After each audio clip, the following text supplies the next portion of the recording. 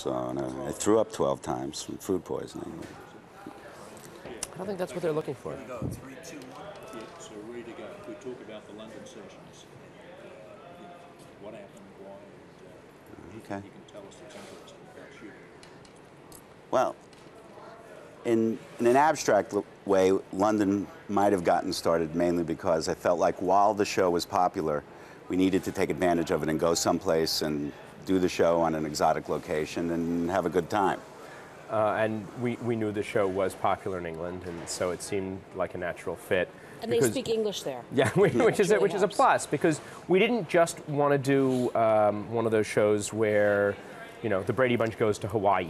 Uh, we wanted to actually Facts of be Life goes to Russia. yeah, we wanted to be it- we wanted to still feel like friends, um, and so we wanted to shoot a lot of it in front of an audience, and it seemed like a really exciting opportunity to shoot an American sitcom in front of a British audience, uh, as opposed to just shooting it like a movie on the streets.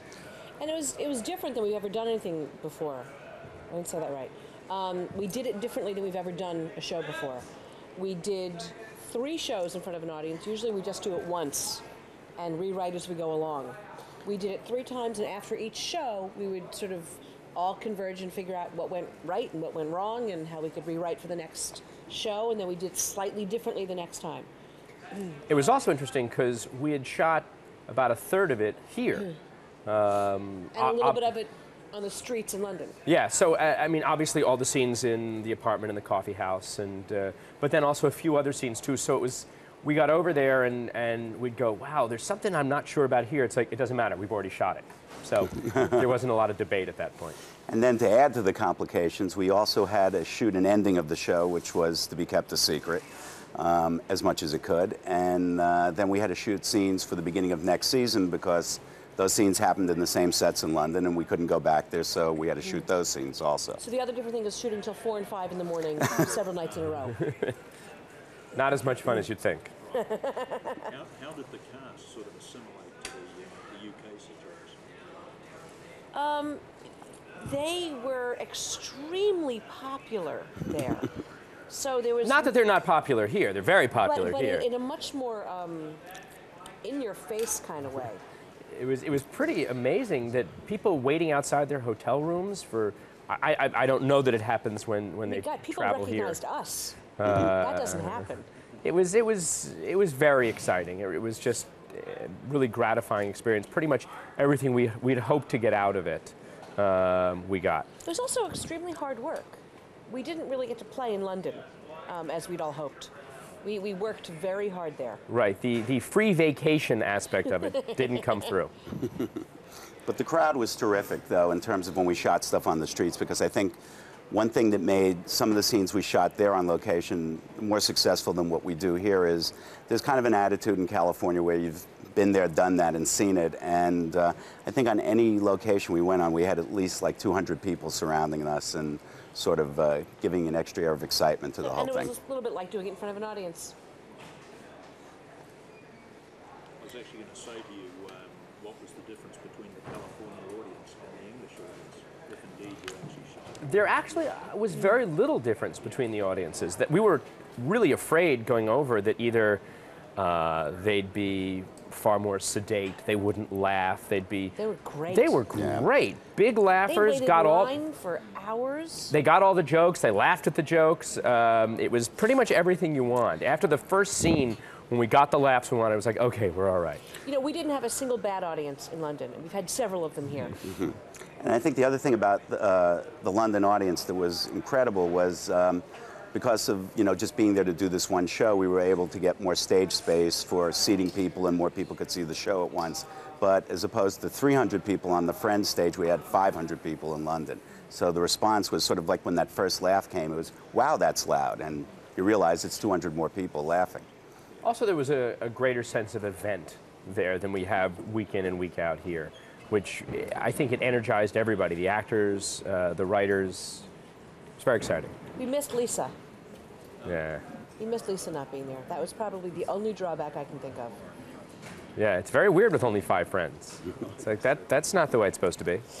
Well, Friends has become a major franchise on video in the UK. I mean, it's been, I'm sorry, uh, it's been phenomenal, just phenomenal. the, the, um, the videotapes have been right up on the charts, week after week, number one, number two, number three position.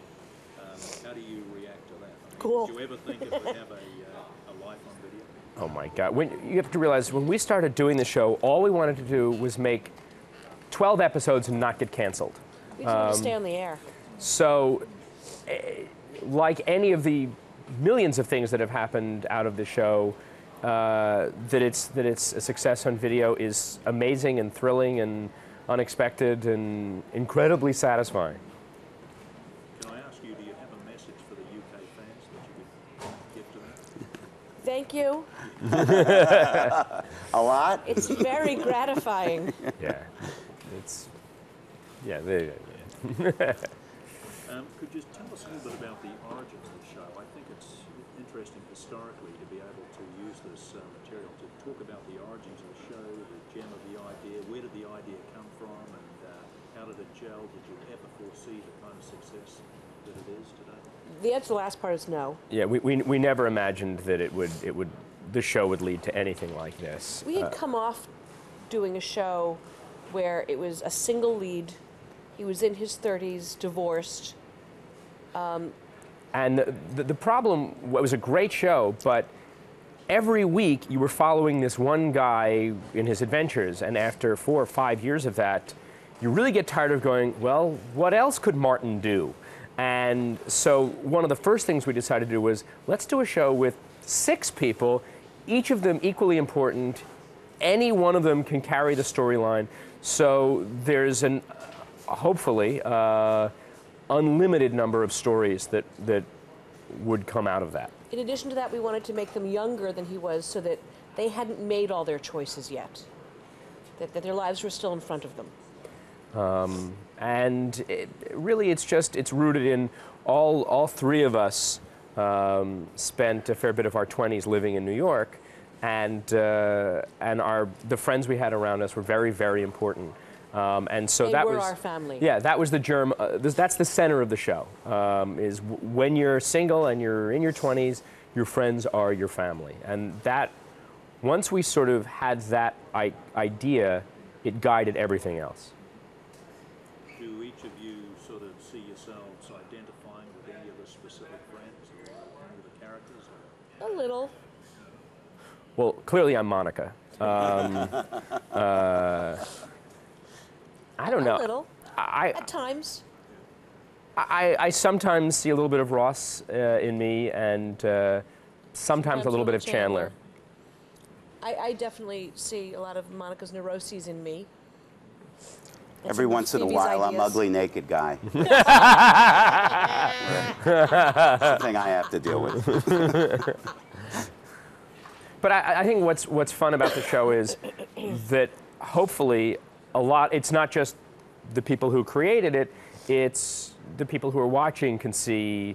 I'm a little bit of Joey, or I'm a little. That there's that there uh, there are enough relatable points that, that people what- can connect. Things that we may have seen in these characters when we first wrote them change a lot once you cast it, and they bring their own lives and their own personalities to it. And, and I think because each character is so distinct that it also led to the, the multiple storylines within every given show because you want to see each character get its due in each show. So when you have three storylines going, it, it also, I think, visually created a pace for us that was exciting in television, that you were never really in one story too long, always back and forth, back and forth. At what point are the friends going to settle down and get married and kind of their lives are going to go? Ross Yeah. Ross tried. Ross tried to get married. Uh, it just it didn't stick. Um, You know, they'll they'll settle down when the show is over.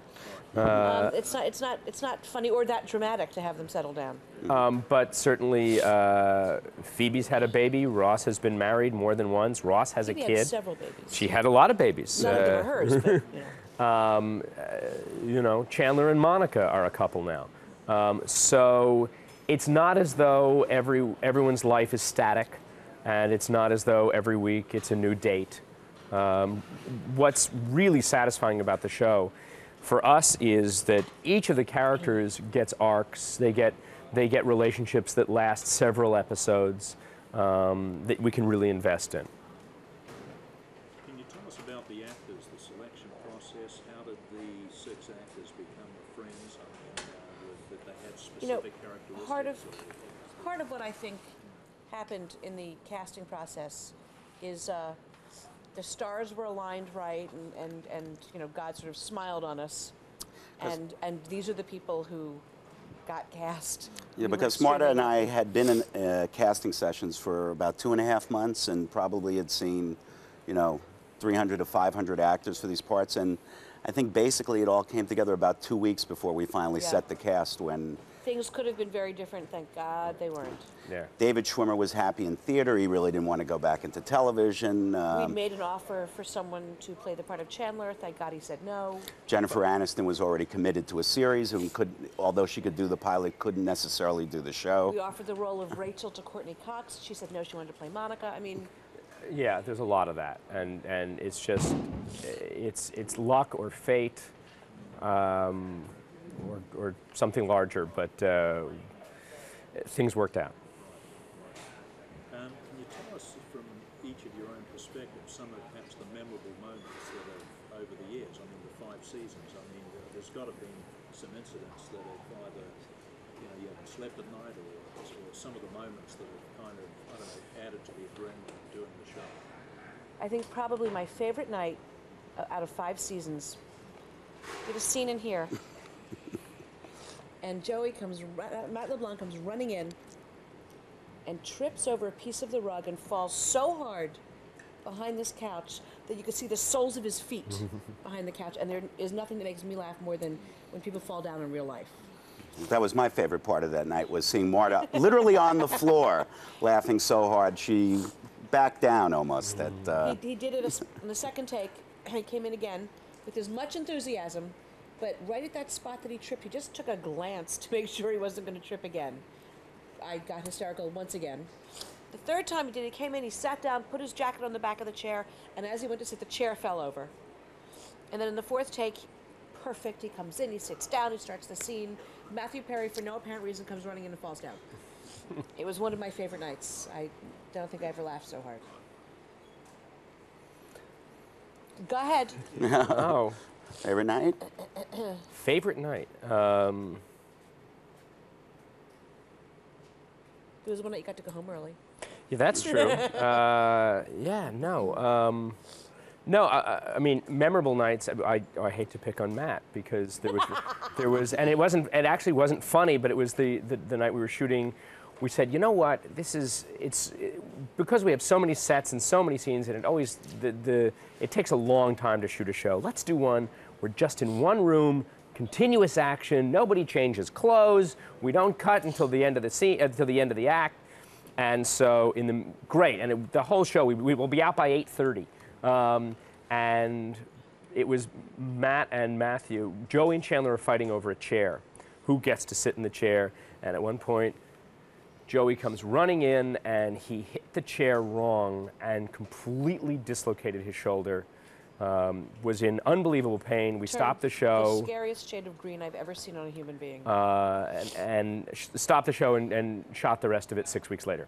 So after uh, shoulder healed. came out of the sling and all of that. So uh, and it's amazing when you look at the show because it's seamless and it looks like the show that should have gone been we should have been home by 8:30, but uh, but it was certainly We were home six weeks later. yeah among among the more disturbing evenings Do you we've have a had. favorite Matt LeBlanc story?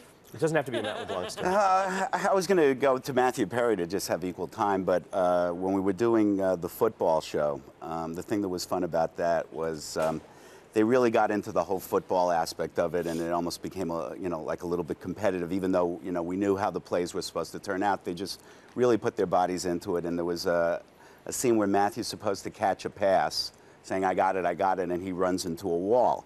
Well, um, you know, you're supposed to do it like an actor, not really for real. And he really hit that wall so hard.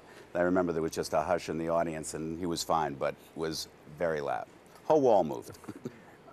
I think some of the things that, that I look back on and uh, are the moments when we flat out miss. Uh, when we think we've got a great moment, and um, there was one moment where Rachel is with her mother, and her mother has decided she's going to get divorced because Rachel had left her fiance Barry at the altar to pursue an independent life.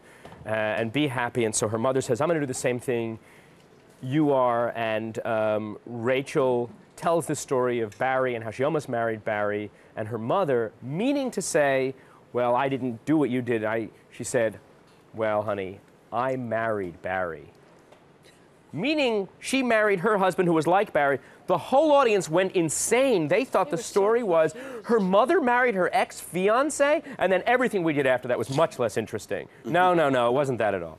Um, And then there were, on the other hand, there were two m- moments that really strike me when you feel like you're doing theater. Um, when television's like theater, there were it was the end of the poker game and the end of the prom video episodes, where the whole audience is absolutely still and hushed and so there with you. and Ross and Rachel's first kiss when, Yes. when she walked, when she turned around and saw him standing at the door. Yes. And the end of the first season too, with Yeah. her waiting for them to get off the plane, waiting for Ross and uh, Julie Those to get fun. off the plane. Yeah, I think for us sometimes it's it's the dramatic moments as much as the comedic moments that really mean something. That where we've managed to create a, A tr- world. a real compelling moment that people are drawn in. I mean, much of the stuff surrounding uh, Phoebe's pregnancy and then having the babies, just just so compelling. Lisa did such a brilliant job uh, of of making it what started as a kind of silly Phoebe notion. She's going to be the surrogate parent to her half brother's triplets, and yet, as it as it evolved, you cared so much.